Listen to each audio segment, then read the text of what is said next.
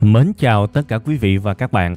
Như các bạn đã thấy ở trên màn hình á, thì hiện tại ở cái kênh mà các bạn đang xem, tôi đã up lên khoảng à, hơn 300 video rồi. Và dĩ nhiên là tôi biết rất là rõ, 300 là một con số cũng khá là nhiều và cái thời lượng của tất cả 300 video này thì cũng khá là dài, đúng không? Và có lẽ vì cái lý do đó nên tôi tin rằng sẽ có khá nhiều bạn rất mong muốn có một cái video mà tôi sẽ làm ra để tổng hợp gần như là tất cả những gì tinh túy nhất đỉnh nhất và cô động nhất của hơn 300 video đó lại.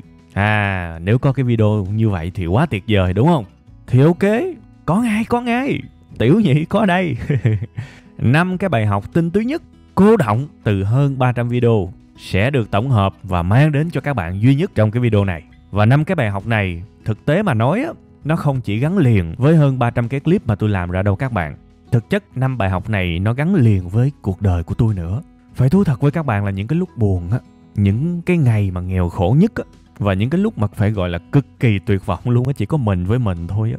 Nếu mà không có năm cái bài học này á thì không biết đời tôi nó sẽ như thế nào nữa không biết đời mình sẽ đi về đâu nữa. Thành ra tôi gọi đây là năm cái bài học mà cứu sống cuộc đời của tôi á thì tôi nghĩ là cũng không có quá đâu các bạn ít nhất là đối với tôi. Bây giờ à, thôi không dông dài nữa tại vì khổ thiệt chạm cái tâm trạng nên nó bị sâu, nó bị deep thôi. Bây giờ không giống dài nữa, bây giờ tôi dắt các bạn vô cái bài học số 1 liền nha. Vô.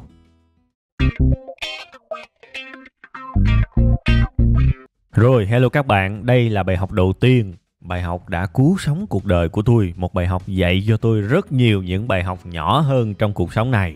Vậy thì đó là cái gì? Bây giờ tôi hỏi các bạn có bao giờ các bạn thử suy nghĩ về cái việc mà thành công hay là thành tựu nó có cái hình thù như thế nào không? À các bạn có bao giờ nghĩ về chuyện đó không? Mà thực tâm á nha, các bạn có nghĩ là thành công nó có một cái hình thù không? À đối với bản thân tôi là có nha. Thành công nó có cái hình thù đàng hoàng các bạn, và nếu các bạn biết được cái hình thù của thành công á, bạn sẽ có rất nhiều khả năng đi hết được con đường của thành công. Bạn sẽ có rất nhiều cơ may để đi hết con đường tạo ra thành tựu thành ra cái hình thù của thành công nó quan trọng lắm. Đôi khi các bạn không biết được cái hình thù của nó, bạn đi đường khúc, sau đó bạn bỏ. Rất là uổng luôn các bạn. Vậy thì bây giờ, thưa các bạn, hình thù của thành công là gì? Thành công á, hay là thành tựu á, nó có một cái hình, đó là hình ngang ngang, dài dài, sau đó dựng đứng lên. Đó là hình thù của thành công đấy. Và cái hình này nó đúng với mọi thứ mà tôi đạt được trong cuộc sống này. Giải thích cái hình này như thế nào các bạn? Rất là đơn giản thôi khi bạn làm một cái gì đó đó, một cái thời gian dài ban đầu nó cứ bình bình bình bình, nó cứ ngang ngang ngang ngang. Nó không thấy tương lai luôn các bạn, nó vô vọng luôn á. Tại sao mình cứ tầm thường mãi vậy? Cái đường ngang thấp thấp, các bạn thấy ở trên màn hình đó. Sao mình cứ tàn tệ vậy? Mình không có sự tiến bộ gì, sao mình làm nó cứ không đâu vào đâu cả. Nó không thấy tương lai, nó không phát triển gì cả, nó cứ mãi thế. Đó là cái đường ngang ban đầu đó của thành công đó nhưng nếu các bạn kiên trì, nếu các bạn cố gắng, và đặc biệt nếu các bạn biết rút kinh nghiệm và các bạn cứ tiếp tục làm thì rất có thể cái đường nó vẫn ngang thêm chút nữa. Nhưng đến một điểm nào đó, nó dựng đứng lên luôn các bạn. Đó là sự phát triển. Đó là sự thành công á. Suốt một thời gian dài bạn đi ngang, thậm chí là nhủi đầu xuống chút xíu nữa. Nhưng bạn kiên trì, bạn nỗ lực. Và đặc biệt, bạn biết rút kinh nghiệm thì chắc chắn một điều, bạn tin tôi đi. Đến một lúc nào đó, thành công nó tới mà bạn không ngờ nổi luôn. Bạn không ngờ nổi luôn, nó dựng đứng lên luôn các bạn. Và đó là cái sự ngỡ ngàng luôn các bạn cái kênh youtube mà tôi đang làm cho các bạn xem nó cũng chạy theo cái hướng như vậy đó. Trời ơi, lúc đầu nó cứ bình bình bình bình bình bình. Cứ đăng video lên, hai chục view, ba chục view, rồi năm chục view, nó cứ vậy hoài luôn các bạn. Và rất lâu luôn á. Trời ơi là trời. Nhưng mà tôi kiên trì các bạn. Rồi tôi cố gắng, nhưng mà cũng chưa có đủ. Mà tôi phải rút kinh nghiệm nữa. Mình phải coi lại những cái mình làm á sẽ có những cái mà mình làm, mà mình thấy nó dở về mặt kịch bản, về mặt cấu trúc, mình phải sửa lại và mình làm ra một cái video mới. Nó hay hơn, nó mạch lạc hơn, nó hào hứng hơn. Khi mà đăng lên cái video mới, nó vẫn không ai coi các bạn. Nó vẫn không ai coi. Thì tôi lại phải cố gắng kiên trì rút kinh nghiệm. Rồi đến một ngày đẹp trời các bạn, tự nhiên xuất hiện một video một tuần mà được tới 50.000 view các bạn. Mà các bạn biết là 7-8 năm về trước, một video về giáo dục mà được 50.000 view trong vòng một tuần là nó vui lắm các bạn. Vui lắm vui lắm luôn á. Thế là tôi ngồi tôi nghiệm lại, Tôi thấy được cái công thức này các bạn. Trời ơi, lúc đầu mình nỗ lực, Mình làm quá trời quá đất luôn mà nó cứ đi ngang. Rồi đến một lúc nào đó, nó dừng lên một cái, Rồi sau cái video dựng đó, Nó dừng thêm nhiều cái video thành công khác. Thì các bạn thấy là cái công thức tạo ra cái thành tựu là như vậy. Thành ra, thời gian đầu mình làm một cái điều gì đó, Mình đừng có thấy là nó không phát triển gì cả, nó không có tiến bộ gì cả, nó không có đi lên gì cả, nó cứ như thế mãi. Mình đừng có thấy cái đó, mà mình bỏ cuộc hay là mình chán nản vì đó là cái hình thù của thành công các bạn ơi. Tôi nói là một lần nữa, tất cả thành công tôi đạt được đều có cái hình thù như vậy hết. Không bao giờ mà nó dựng lên cái sự phát triển ngay từ đầu đâu. Điều quan trọng là thứ nhất, tôi lặp lại, phải biết kiên trì. Thứ hai, phải biết nỗ lực, không ngừng, phải chăm chỉ chứ, đúng không? Và thứ ba, cái này cực kỳ quan trọng, đó là mình phải biết rút kinh nghiệm.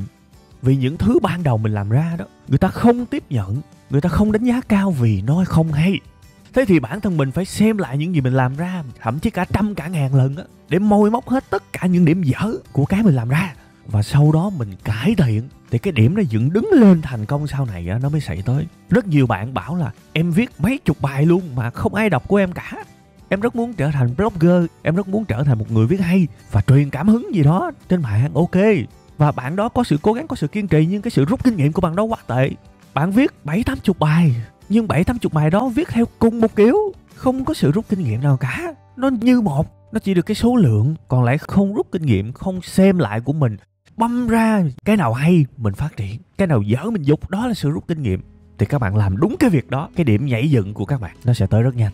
Và chẳng tôi chia sẻ với các bạn một cái thông số của một cái show podcast mà tôi làm. Cũng có thể gọi đây là một thành công. Đây, tôi show ở trên màn hình cho các bạn thấy, các bạn thấy cái biểu đồ đó thì hiện tại nó có khoảng uh, gần khoảng 9 triệu rưỡi lượt download ha.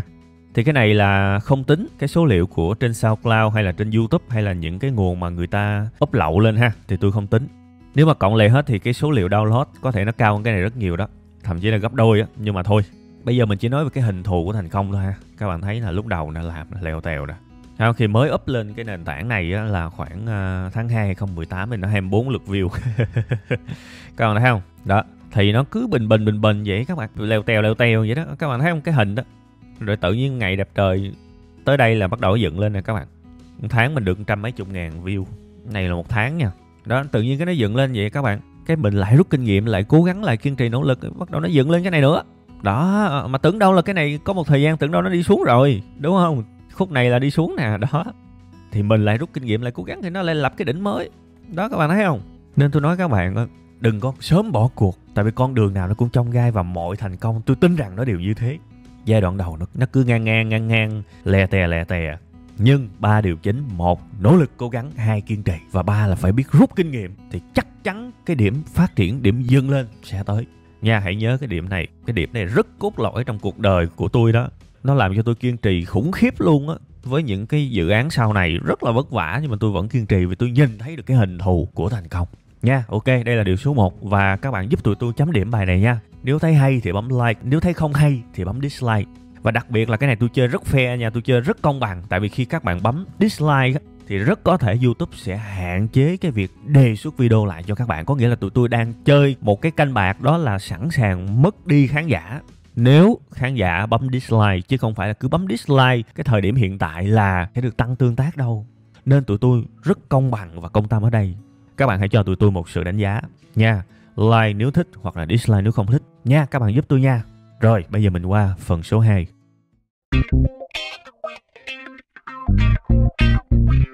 rồi, hello các bạn.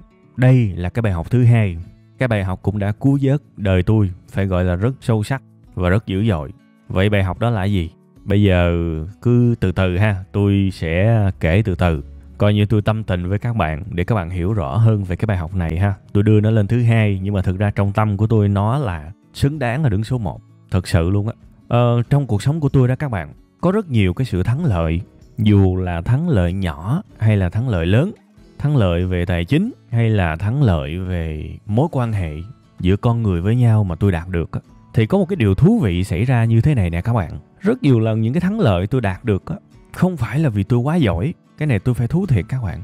Mình đạt được một cái gì đó mà không phải vì mình quá giỏi. À, mà là do một cái thứ khác nó quyết định cái thắng lợi đó. Thì tôi đố các bạn á cái gì tạo nên cái thắng lợi đó? Trong khi mình không quá giỏi mình không quá đặc biệt. Có bao giờ các bạn kinh doanh và bán được hàng mặc dù mặt hàng của bạn bán không phải là tốt nhất và giá của bạn cũng không phải là giá tốt nhất chưa? Vậy mà có cái này mình lại bán được. Ghê vậy đó. Và có bao giờ bạn được người khác cho mượn tiền mà họ không quan tâm khi nào bạn sẽ trả lại cho họ hay không? Mặc dù có thể số tiền họ cho mượn là lớn đó, có bao giờ bạn được cái đó chưa? Có cái này thì bạn lại được người ta ưu ái như vậy đó. Rồi có bao giờ bạn được thăng tiến, bạn được lên chức, bạn được lên lương, mà trong khi đó bạn không phải là người đỉnh nhất trong cái phòng đó, bạn không phải là người giỏi nhất, chuyên môn của bạn không phải là xuất sắc nhất, nhưng bạn vẫn được lên chức. Vậy thì câu trả lời nằm ở đâu? Có ai trả lời là chơi ăn gian không? No, xin lỗi nha, ở đây không nói chuyện chơi ăn gian, vì chơi ăn gian không tồn tại được lâu.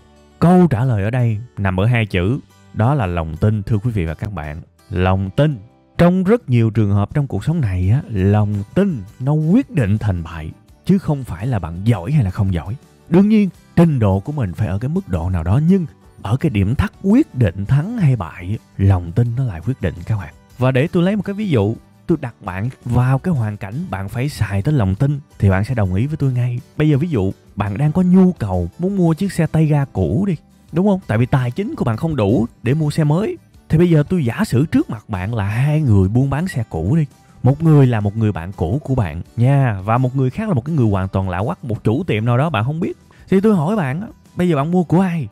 Và đặc biệt nếu mà thằng bạn cũ của bạn, cái thằng bạn cũ đang bán xe cũ, nếu mà nó là một cái người đàng hoàng, tốt tính, thì bây giờ hai lựa chọn mua của ai? Nó quá rõ ràng, tại vì mua xe cũ nó nhiều rủi ro, nó nhiều lo sợ lắm. Thế thì bạn chọn ai? Chắc chắn là bạn chọn một nơi bán mà cho bạn lòng tin nhiều hơn.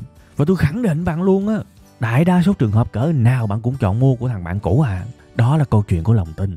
À bạn giao tiền của bạn cho người bạn tin tưởng. Bạn giao cái chức, cái vị, cái chỗ quan trọng cho cái người bạn tin tưởng. Cái lòng tin nó cao hơn hầu hết những vấn đề chuyên môn. Nó quan trọng lắm các bạn ơi. Anh giỏi mấy mà anh không có lòng tin của người khác thì rất khó để anh thăng tiến cái này tôi chắc chắn một cái điều này luôn á. Thật sự, vậy thì cuộc đời này đừng bao giờ coi nhẹ lòng tin. Có lòng tin là có tất cả, tôi nói thiệt á. Có thể là một trăm phần trăm không tồn tại cái chân lý này nó đúng, nhưng ít nhất với trong cuộc đời của tôi thôi nha. Thầy, có lòng tin là có tất cả. Vậy thì bây giờ, có thể các bạn sẽ hỏi là làm sao để có lòng tin? Thì thực ra đơn giản lắm. Bây giờ bạn muốn được người khác tin tưởng, thì bạn phải trao giá trị đi.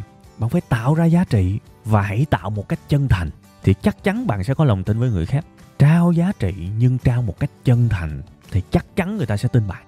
Chắc chắn cuộc đời này sẽ trả lại cho bạn một cái kiểu phần thưởng nào đó mà có thể bạn không mong chờ. Và thưa quý vị và các bạn, cái giá trị mà các bạn trao đi á, có thể là bất kỳ cái gì các bạn ơi, chứ không nhất thiết phải là tiền bạc, không nhất thiết phải là cái kiểu gì mà vật chất đâu.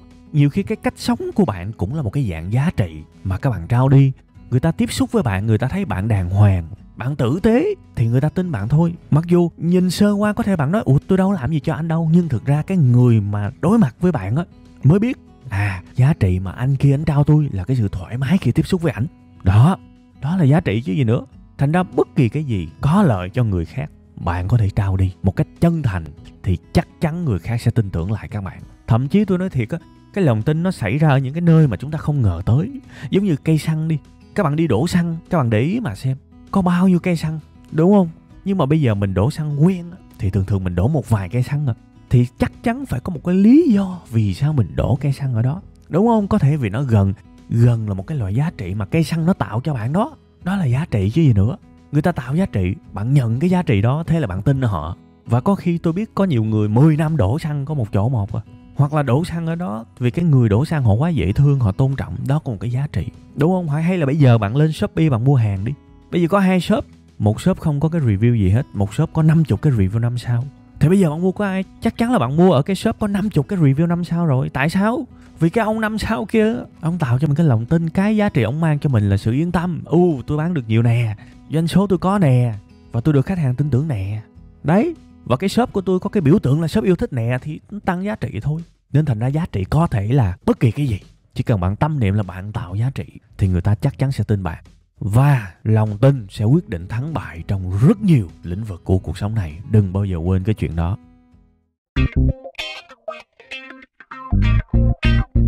Rồi, hello các bạn. Đây là bài học số 3 Bài học này cũng ẩn chứa ở đằng sau hơn 300 video mà tôi làm cho các bạn. Và cũng là một trong những tư tưởng chủ đạo đã cứu sống đời tôi trong rất nhiều lúc mà phải gọi là đời tôi nó tối thui.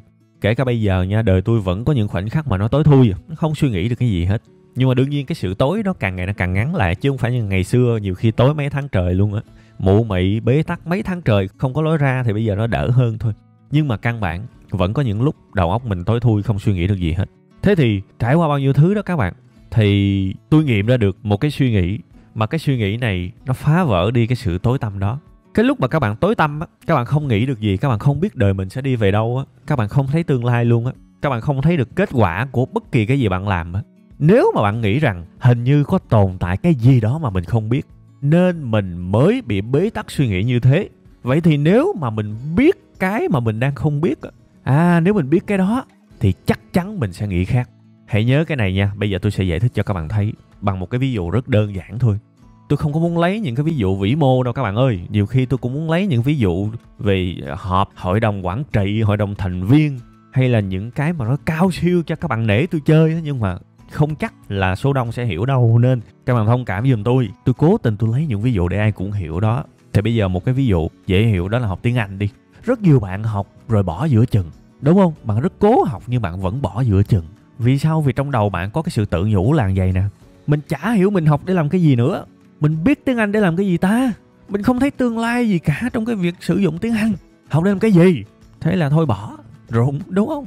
Thực ra, đó là một suy nghĩ rất sai các bạn. Suy nghĩ rất sai vì bây giờ khả năng tiếng anh của bạn cứ cho là nó chỉ là 3 điểm đi. Thì bạn suy nghĩ về tiếng anh của bạn chỉ nằm trong từ tầm tầm 3 điểm đó, thụt xuống thôi. Tôi nói thiệt, nhưng mà nếu bây giờ bạn gieo cho mình một cái niềm tin á, bạn nghĩ theo hướng này nè. Nếu mà mình biết tiếng anh lên tới 10 điểm thì sao? Lúc đó chắc chắn suy nghĩ của mình sẽ khác. Mình sẽ thấy được nhiều thứ hơn, chắc chắn luôn. Nếu tôi giỏi tiếng anh, tôi sẽ suy nghĩ khác. Vậy, tôi sẽ cố để học giỏi tiếng anh. Vì tôi tin rằng lúc đó tư duy của tôi sẽ nhìn ra được rất nhiều thứ mà bây giờ cố mấy tôi cũng không nhìn được.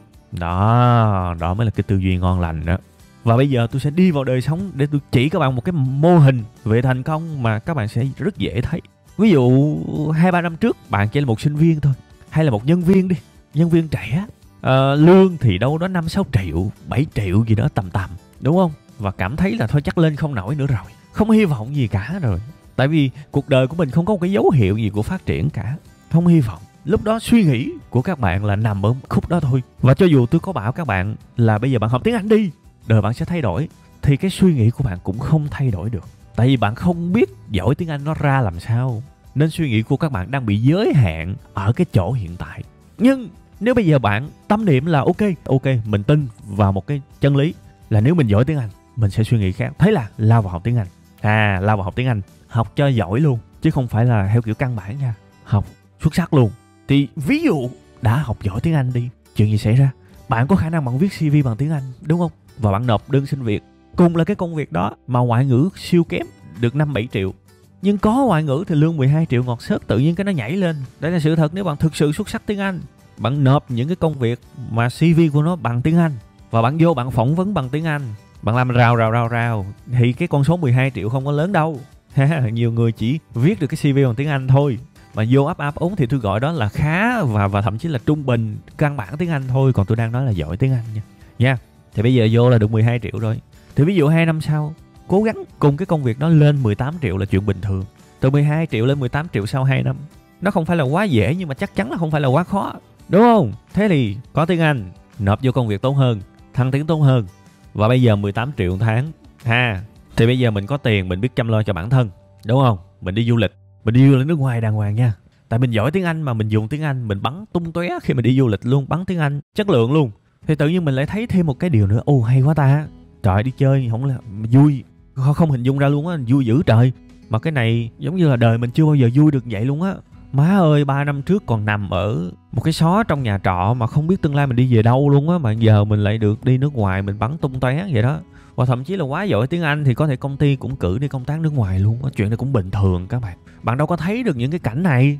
Tại vì đôi khi mình đang ở cái mức 3 điểm mình cố máy mình cũng không thấy được cái mức 10 điểm đâu. Thì thôi, bạn đừng suy nghĩ nhiều. Bạn ráng, bạn nâng trình độ của bạn lên cái mức 10 điểm đi, bạn sẽ thấy rất nhiều thứ. Tôi nói thiệt ha, thì ví dụ khi bạn xuất sắc tiếng Anh mà tôi kể ra một vài cái viễn cảnh nãy giờ, các bạn thấy suy nghĩ của các bạn khác hoàn toàn lúc trước. Bởi vậy tôi mới nói là khi mình biết suy nghĩ của mình sẽ khác. Mỗi một lần bạn biết thêm một cái kiến thức, bạn thành công trong việc chinh phục một kiến thức nào đó, chắc chắn suy nghĩ của bạn sẽ khác. Cái việc sản xuất video trên youtube cũng vậy các bạn. Dù muốn hay không, cái người làm video, cái người làm truyền thông, các cái người làm nội dung đều phải học về marketing hết. Khi bạn không hề biết marketing, bạn làm video ra bạn không biết cách mang video của mình đến người xem, bạn sẽ rất vô vọng. Nhưng mà nếu bạn kiên trì cố gắng nỗ lực rút kinh nghiệm và phát hiện ra rằng mình thiếu kỹ năng marketing, bạn cứ đâm đầu vô bạn học đại marketing đi. Bạn cứ chinh phục nó một cách ngây thơ, một cách hồn nhiên đi. Rồi đến một lúc nào đó bạn thực sự thành thạo marketing, thành thạo cái việc tiếp thị nội dung. Trong đầu bạn đã giỏi cái đó rồi thì bạn sẽ suy nghĩ khác. Bạn sẽ thấy được rất nhiều thứ các bạn. Nên làm ơn nha mình học một cái gì đó mình thấy nó gian truân nhiêu khê mình ngại mình muốn bỏ cuộc thì đổi tư duy đi. Tin rằng một điều đó là nếu mình biết mình sẽ suy nghĩ khác. Còn bây giờ mình có ngồi mình lấy cái tâm hiện tại của mình ra mình phán cỡ nào đi chăng nữa thì mình cũng không thấy được đâu. Rồi hello các bạn đây là điều số 4 cái bài học này thì uh, nó cứu tôi nhiều về cái mặt nội tâm. Ha nhiều về cái mặt nội tâm các bạn. Bài học số 4 là gì? Nếu mà bạn hiểu mình á, thì bạn sẽ thấy ổn hơn khi không ai hiểu mình hết. Ha tôi lặp lại một lần nữa nha, cái câu này nó sâu sắc lắm. Nếu mà bạn hiểu bản thân bạn á, thì bạn sẽ cảm thấy ổn hơn khi người khác không hiểu bạn. Nếu mà mình gọi là cuộc đời này mà muốn vươn lên á, thì thường cái việc mình làm cái điều khác biệt, gần như là không tránh khỏi. Thực sự luôn các bạn. Tại vì các bạn cứ hình dung, nếu các bạn làm cái thứ mà ai cũng làm, thì điểm đặc biệt ở đâu, điểm khác biệt ở đâu? Tại sao người ta phải trả các bạn cao hơn? Tại vì bạn làm như người ta bạn làm giống như cả ngàn người khác. Nó quá bình thường thì không có cái lý do gì để bạn được trả cao hơn cả. Bây giờ bạn tưởng tượng đi, ra trường cùng một cái kiểu bằng cấp với hàng chục ngàn người, cùng một cái xếp loại với hàng chục ngàn người, cùng một cái thái độ làm việc với hàng chục ngàn người, cùng cái chuyên môn cũng tầm tạm với hàng chục ngàn người. Thì bạn với hàng chục ngàn người đó giống y chang nhau à. Chả có lý do gì để bạn được cân nhắc lên cái chỗ cao hơn cả. Bạn công nhận không? Thế thì thành công gần như nó phải gắn với sự khác biệt có thể bạn nỗ lực hơn người ta rất nhiều. Đó là sự khác biệt. Có thể bạn đi một con đường không ai dám đi, đó là sự khác biệt. Đúng không? Có thể bạn ra những cái quyết định mà không ai dám ra, đó là sự khác biệt. Thì tôi tin rằng muốn thành công thì phải khác biệt. Thật sự, đương nhiên khác biệt thôi chứ đừng có khùng điên dị biệt nha, ba trợn nha, thì cái chuyện đó chuyện khác. Đừng có đi ra đường, đèn đỏ, người ta đang bật, rồi cố tình đi qua thì cái đó không phải là khác biệt, cái đó là bị khùng, cái đó là cố tình chơi trội cái đó không tính nha. Khác biệt có nghĩa là, ví dụ, đại đa số xung quanh các bạn ngày cuối tuần người ta chơi, người ta giải trí, thì bạn cảm thấy bản thân mình yếu kém quá, nên mình cần phải hoàn thiện. Thế là bạn lấy sách ra bạn đọc, bạn lấy bài tập ra bạn giải, bạn lấy những cái project ra, những cái dự án ra, bạn ngồi bạn làm để bạn hoàn thiện mình. Ví dụ vậy, đó là sự khác biệt đó. Và đương nhiên cái giá của sự khác biệt là gì? Là sẽ rất có thể là sẽ cô đơn, vì mình nhìn qua xung quanh đâu ai hiểu mình. Thậm chí là người ta còn chăm chọc mình nữa, đúng không? Người ta thậm chí còn tẩy chay mình nữa vì mình khác người ta. Rất nhiều trường hợp là như vậy, đó là cái giá của sự khác biệt thế thì hệ bạn khác biệt, thì có nghĩa là thêm một khả năng, những người xung quanh không ai hiểu bạn. Và đến một lúc nào đó khi bạn cực kỳ khác biệt rồi có thể bạn sẽ có được những thành công trong cuộc đời này. Nhưng mà bạn cũng phải trả một cái giá. Hình như xung quanh các bạn cũng ít ai hiểu bạn. Tôi lấy ví dụ bạn là một giám đốc đi. Bạn là một người giám đốc, chắc chắn bạn có cái suy nghĩ riêng của cái tầm giám đốc. Và bên cạnh các bạn, hầu như bạn bè của các bạn là những người đi làm thuê. Thì bây giờ sự khác biệt nó xảy ra rồi đó cái câu chuyện mà bạn muốn chia sẻ, đôi khi nó không ăn nhập gì với câu chuyện của những người xung quanh của các bạn cả. Đúng không? Và khi mà những người xung quanh chia sẻ với bạn những cái chuyện công sở này nọ thì bạn nhiều khi bạn lại không không có hứng thú nghe. Nó cũng là sự khác biệt, đúng không? Thế là đôi khi bạn ra một cái quyết định, bạn rất tự hào, bạn rất vui, nhưng mà xung quanh các bạn không ai ủng hộ cái quyết định đó cả thì buồn chết, đúng không? Vậy thì mình giải quyết vấn đề đó bằng cái gì? Bạn phải hiểu mình, bạn phải hiểu bạn đó. Vì bạn phải tin vào cái điều này nè nếu bạn hiểu bạn thì bạn sẽ thấy ổn hơn khi không ai hiểu bạn. Thật sự luôn á. Mình làm đúng đúng không? Nếu mình thấy thật tâm mình làm đúng, thì đó là cái sự an ủi rất lớn mà tự mình làm cho mình. Và các bạn sẽ đứng vững được nếu những người xung quanh bảo các bạn đang làm sai. Tại vì bạn tin mình là bạn tiếp cho mình một cái sức mạnh rất lớn rồi. Nhưng mà với điều kiện là bạn phải tin bản thân bạn nha. Chứ mà bạn còn không tin bạn nữa thì bạn khổ lắm. Người ta nói cái gì bạn cũng lung lay cả. Các bạn tưởng tượng một cái tình huống giống như là một người khi còn đi học đi học rất giỏi đi rồi đi làm công ty thì cũng xuất sắc, lương cũng ổn. Tự nhiên đụng phát, nghỉ làm, ra khởi nghiệp. Đó là sự khác biệt đó. Mấy ai đang lương cao, lương tốt dám ra khởi nghiệp, đúng không? Cứ cho là một cái ví dụ như vậy đi. Thế thì cái người mà dám bỏ công, bỏ việc, đang lương cao ra khởi nghiệp, chắc chắn sẽ phải nhận lấy những cái sự không tin tưởng, thậm chí là làm khó, làm dễ, thậm chí là nghi ngờ, thậm chí là cười chê từ những người xung quanh. Đó. Thì bây giờ mấu chốt ở đây là người xung quanh của các bạn sẽ vẫn không tin bạn thôi cho tới khi nào bạn thành công đúng không? Quan trọng là ở cái điểm bạn bắt đầu ra cái quyết định đó đó. Bạn có tin mình hay không? Bạn có hiểu mình hay không? Bạn có thực sự muốn điều đó hay không? Nếu bạn thực sự muốn và bạn thật tâm tin mình, thì cái việc người khác không tin bạn, nó cũng có tác động nhưng nó không lớn lắm đâu. Và bạn không có quỵ ngã đâu. Còn nếu mà cái ngày bạn quyết định bạn nghỉ việc, bạn ra bằng khởi nghiệp á, mà trong đầu bạn có những cái suy nghĩ chết rồi, mình đang làm gì vậy? Chết rồi, sao mình thấy có gì đó hối hận ta? Hình như mình cũng không tin mình lắm nhỉ? Đại khái như vậy thì cái đó tiêu rồi nha, nên quan trọng là mình phải hiểu mình mình tin mình và tin mọi quyết định mình ra. Vậy thì bây giờ quay trở lại vấn đề làm sao để mình có được sự hiểu mình. Thì tôi tin rằng một trong những phương pháp rất quan trọng đó là sự suy niệm các bạn.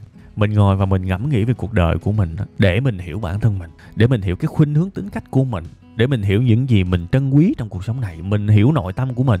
Người ta cứ đi đào những thứ bên ngoài các bạn, nhưng bạn phải tập đào vào những thứ bên trong bạn để bạn hiểu mình bạn hiểu mình thì bạn sẽ có một cái nội tâm rất vững vàng các bạn. Mà nội tâm vững vàng rồi thì ở bên ngoài nó không tác động quá ghê gớm giống như là khi nội tâm mình yếu đâu thì tôi suy niệm sao?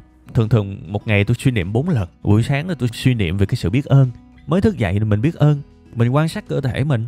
Mình thấy rồi ngày hôm nay mình không đau yếu. Ha. Mình biết ơn mình không bệnh hoạn gì cả mình vẫn khỏe mạnh mình thức dậy mình được sống thêm ngày nữa mình biết ơn nha. Rồi mình nhìn lại cuộc đời của mình mình thấy mình không nợ nần gì cả mình biết ơn rồi mình thấy bây giờ mình ngon hơn hồi xưa nhiều, mình biết ơn. Đó, đại khái như vậy các bạn. Có thể nhiều người sẽ thấy cái sự suy niệm, cái sự biết ơn này nó vớ vẩn lắm, nhưng mà các bạn tin tôi đi. Một ngày, hai ngày thì các bạn thấy bình thường, nhưng các bạn làm ba chục ngày đi, trái tim của các bạn nó sẽ ấm lại. Và các bạn làm 6 tháng hay là một năm gì đó thì con người của các bạn trở thành một người nhân ái và và tốt tính. Cái gì cũng cần thời gian, nha. Đó là sự suy niệm đầu tiên. Cái suy niệm thứ hai và thứ ba đó là suy niệm vào lúc trưa chiều các bạn. Suy niệm mình hiểu chính mình đó. ví dụ buổi trưa đi, sau khi ăn xong cái tôi ngồi đó tôi suy niệm, hồi sáng giờ mình làm gì ta? Mình rồi tôi liệt kê ra những việc sáng giờ làm. Đó, thì sau đó tôi hỏi tiếp một câu nữa, việc gì mình thích ta và việc gì mình không thích ta? À tôi chỉ cần tôi suy niệm để tôi hiểu bản thân mình thôi, sáng giờ mình làm cái việc gì mà mình thích, việc gì mà mình không thích. Để làm gì các bạn? Để mình bớt lại, mình ý thức được à có những cái thứ mình không thích, ngày mai mình cố gắng mình bớt những thứ mình không thích lại. Và những thứ mình thích, ngày mai mình cố gắng mình phát huy hơn, đó. Thì cũng giống như cái kiểu suy niệm đầu tiên thôi bữa đầu thấy bình thường, bữa thứ hai thấy bình thường, nhưng bữa thứ 30 chẳng hạn, bắt đầu mình hiểu con người mình rõ một một luôn á. Mình biết cái gì mình không thích, mình biết cái gì mình mình thích. Trong nửa giây là mình biết rồi, tại vì ngày nào mình cũng suy niệm mà.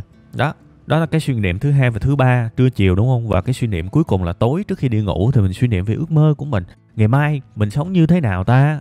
Để mình trở thành một con người hoàn hảo nhất trong quan niệm của mình. À tối tôi thường suy nghĩ như vậy. Thế thì tôi có thể liệt kê ra ngày mai là một ngày hoàn hảo với mình nếu mà mình không xài mạng xã hội à nếu mà mình biết hỏi han những đồng nghiệp của mình nếu mà mình trích một phần nhỏ tiền ra để làm từ thiện à nếu mà mình uh, được ngồi từ khoảng ờ, uh, 7 giờ cho tới 8 giờ ở một quán cà phê và có thời gian đọc sách đó tức là ước mơ của mỗi người khác nhau nhưng mà buổi tối tôi dành ra để tôi mơ về một cái ngày hoàn hảo ngày hôm sau của mình và hôm sau rất có nhiều khả năng tôi sẽ sống đúng với cái ước mơ mà tôi suy niệm ngày hôm trước. Các bạn thấy không? Bốn kiểu suy niệm này sẽ làm cho mình đào sâu vào nội tâm và mình hiểu chính mình rất là nhiều. Và khi mà mình hiểu chính mình đó thì mình sẽ thấy ổn hơn khi người khác không hiểu mình. Tại vì mình phải tin mình chứ. Còn với người xung quanh thì các bạn cứ yên tâm đi. Khi các bạn thành công thì tự nhiên người ta tin bạn. Vì cuộc đời nói chuyện bằng kết quả. Ha, ok, đó là cái điều thứ tư.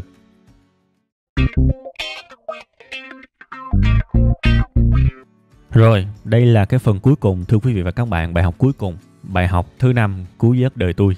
Bài học này là một cái sự nhận thức sâu sắc về cái sự hiểu, một cái siêu kỹ năng mà ai muốn có thành tựu ở cuộc sống này cũng phải có. Siêu kỹ năng đó là gì các bạn? Đó là tự học. Thậm chí là tôi phải gọi bằng ba chữ là tự học nóng. Tự học nóng các bạn nghe thấy lạ đúng không? Nhưng mà không có gì lạ đâu, tôi giải thích cái là hiểu liền rồi trước khi mà vô cái phần mà giải thích tự học nóng là cái gì thì làm ơn nhớ 90% những gì ở cuộc đời này mà các bạn muốn phát triển á, thì nó đều qua tự học hết nha. Nó đều qua tự học hết đó. Và có thể nói là 90% những gì xảy ra trong cái việc mình tự học là tự học nóng đó. có nghĩa là bạn phải học thật nhanh khi vấn đề nó xảy ra luôn á. Bạn gặp một cái chuyện gì đó trái ý mình bạn phải học liền luôn ngay lúc đó đó. Bạn phải giải quyết ngay trong ngày luôn á. Bạn phải học nóng luôn á. Và cái thái độ mà tự học nóng là một cái thái độ giúp mình phát triển khủng khiếp vì mình cải thiện qua từng ngày luôn. Và mình học trong mọi chuyện các bạn. Ví dụ, ở nơi công sở của mình đi, mình nói chuyện với đồng nghiệp và gây hiểu lầm đi. Người ta trách mình, người ta tẩy chay mình này nọ. Đó là một vấn đề đó. Thì bạn sẽ phải tự học nóng luôn để giải quyết vấn đề đó. Bạn không thể nào chờ nói là thôi, em phải đợi đi học một cái khóa về kỹ năng giao tiếp tại một cái trường nào đó thì mới phát triển được. No, cuộc đời này không chậm tới mức đó đâu. Các bạn phải tự học nóng luôn á có thể là ngay buổi trưa ngày hôm đó là lên google search, gây hiểu lầm nơi công sở thì phải làm gì? Có thể là đặt liền luôn một cuốn sách về giao tiếp và tối ngày hôm đó đọc ngấu nghiến để nhìn ra vấn đề, đó là tự học nóng. Phải học thật nhanh và cải thiện thật nhanh, vì còn cách nào khác nữa đâu. Đường đời của các bạn có vô vàng những cái cục đá, thì bạn phải vượt qua những cục đá, những cái ổ gà đó thôi, còn cách nào nữa? Còn nếu bạn quyết định không vượt qua những cái đó, thì đời bạn có cái thành tựu gì nhỉ? Gặp cái gì bạn cũng kệ hết, thì không phát triển được. Khổ vậy không phát triển được các bạn nha, hoặc là một ví dụ khác, mình lên mình thuyết trình với sếp cứ lập bập lập bập. Thì đó cũng là một vấn đề đó. Bạn có nhìn thấy vấn đề không? Bạn có thừa nhận là mình thuyết trình dở không? Nếu thừa nhận thì phải tự học nóng, tự học lên youtube, lên google, lên những cái trang chia sẻ thông tin, những cái group về thuyết trình. Hoặc hay là đọc sách về thuyết trình, học khoa học về thuyết trình, tùy. Hay là học lớn người khác về thuyết trình, tùy các bạn. Tôi không quan tâm các bạn học bằng cách nào, nhưng các bạn phải tự học nóng. Vì các bạn mà cứ lập bập lập bập thêm ba lần nữa thôi thì còn ai tin tưởng cho các bạn thuyết trình nữa bạn tự chặn đường mình mà bạn không biết à, còn ai tin tưởng giao cho các bạn thuyết trình với đối tác? Giao cho bạn những cái công việc liên quan tới thuyết trình mà được lương cao. Bạn không có cửa thế bạn phải tự học nóng đúng không? Hay là bạn có một cái shop trên sàn thương mại đó bán riết luôn không ai thèm mua cả. Thì phải tự học nóng chứ. Hay là bạn chờ năm sau mới chịu học. Trong vô vàng cách học thì tôi cũng đã liệt kê rồi đó. Bạn muốn học kênh nào cũng được. Nhưng mà phải tự học nóng phải dùng ngay cái khoảng thời gian rảnh trong ngày đó để học. Phải dùng ngay buổi tối để học. Thậm chí là dậy sớm để học. Học điên học khùng điên dại với nó, thì chắc chắn sẽ có kết quả. Thực sự thành ra tự học là một siêu kỹ năng nha. Nhớ kỹ, biết tự học là một siêu kỹ năng. Và làm ơn nhớ nha, cái hay của cái việc tự học á, là khi mà bạn đã học thành công được một thứ, thì rất có thể bạn sẽ học thành công được mọi thứ khác. Đương nhiên có những môn nó khó thì mất nhiều thời gian hơn. Những môn nó dễ thì học nhanh hơn, nhưng bạn phải tin tôi một điều mà cái này cũng là cái mình phải trải qua rồi, mình mới hiểu. Bạn chinh phục được một thứ thì mọi thứ về sau cái gì bạn cũng chinh phục được ví dụ trong bán hàng online đi, bạn làm được cái website, thì bạn sẽ làm thêm được những cái giống như là đưa trang web lên top google. Bạn học được cái đó, bạn hoàn toàn tự học được. Bạn đã học được cái cách đưa trang web lên top google, rồi bạn học qua video marketing, bạn học được hết. Không có cái gì học không được hết. Rồi video marketing, mình học được thêm dựng phim, đúng không? Mình học được thêm về kỹ thuật, âm thanh, hình ảnh gì đó. Tất tần tật những thứ liên quan học được hết thành ra tôi mới nói tự học được một thứ thành công thì bạn có thể tự học được hàng trăm thứ khác thành công. Và ngược lại nếu bạn không tự học được một cái gì đó thành công thì bạn tất cả những thứ về sau bạn học rất có thể cũng sẽ thất bại vì nó có một cái gờ rồi. Nó có một cái giới hạn trong tâm trí các bạn. Nha. Tôi muốn nói tới nỗi đau đâu nhưng mà tôi thấy nhiều người á, học cả trăm thứ nhưng mà không cái gì thành công cả. Không bao giờ chinh phục được cái gì cả vì học có tới nơi tới chốn đâu. Nha thế thì các bạn bắt đầu từ vấn đề của các bạn đi gặp vấn đề gì hãy học nóng về cái chuyện đó đi. Chinh phục nó đi. Và chinh phục được một thứ thì chắc chắn những thứ khác bạn cũng sẽ bắt đầu chinh phục được. Nó cũng sẽ vẫn vất vả, nó cũng sẽ vẫn dài hơi đấy, nhưng chắc chắn nó có sự xuất hiện của thành công. Thì chung quy hết cuộc đời này, cái gì khó người ta mới tôn vinh chứ dễ quá, nằm phè phởn chơi lướt facebook thì ai tôn vinh làm gì, đúng không? Nên hãy nhớ nha 90% tiến bộ của cuộc sống của các bạn là nó đến từ tự học đấy. Gặp vấn đề là phải tự học nóng nó ngay. Và hãy tin vào một cái sự phát triển đó là khi bạn có thể tự học nóng được một thứ thì bạn cũng có thể tự học nóng được nhiều thứ khác. Vì bạn đã có cái mindset cái tư duy của người chinh phục rồi người thành công rồi. Và lúc đó càng về sau nó không có nghĩa lý gì đâu. Nha yeah, ok. Đó là năm cái bài học đã cứu vớt đời tôi. Bài này là một cái bài tổng hợp nhưng mà không thể nào mà nói qua loa được các bạn. Vì những cái tư tưởng sâu sắc thì không thể nào mà dành ra hai phút để nói cho mỗi cái tư tưởng được. Nếu thế thì nó cưỡi ngựa xem hoa nó đâu có giá trị cho các bạn đâu. Ha và tôi hy vọng là với cái sự dốc lòng, dốc sức của mình vào cái bài này, các bạn sẽ nhìn thấy được năm cái bài học, năm cái tư tưởng. Lúc nào nó cũng trong máu của tôi hết và hiện tại tôi vẫn sử dụng. Gặp một cái tình huống nào đó, tôi đều suy nghĩ về năm bài học này và nó làm tôi mạnh mẽ rất nhiều, thực sự các bạn. Nên thôi, dù sao thì đây cũng chỉ là kinh nghiệm của tôi thôi. Còn bản thân các bạn thì tôi mong là các bạn sẽ xem chậm, ngẫm nghĩ nó chút xíu. Vì cả cuộc đời mà đưa vào trong đây chỉ có mấy chục phút thì cũng đâu có thể nào qua liền được nên nếu mà nghe lần đầu mà thấy hơi mông lung thì làm ơn lưu lại cái bài này để xem nhiều lần nha. Tại vì gần đây có nhiều người cứ hỏi tôi là em nhớ một cái kiến thức abc gì đó mà em không biết nó nằm ở bài nào. Thì khổ lắm các bạn. Nên thôi, ở dưới cái clip này có hai nút. Một nút là nút lưu, một nút là nút download. Các bạn muốn bấm nút nào cũng được ha. Thì ờ, youtube sẽ giúp các bạn lưu lại. Ha, rồi ok. Bây giờ thì cái bài này tôi xin phép dừng tại đây. Cảm ơn các bạn rất nhiều. Xin chào và xin hẹn gặp lại vào những bài giảng tuần sau các bạn nha và các bạn thấy ở trên màn hình á, tôi có liệt kê ra những cái bài mà cái thuật toán á, nó nghĩ là phù hợp với sở thích của các bạn thì các bạn có thể bấm tiếp vào ở trên màn hình để xem nha. Bye bye.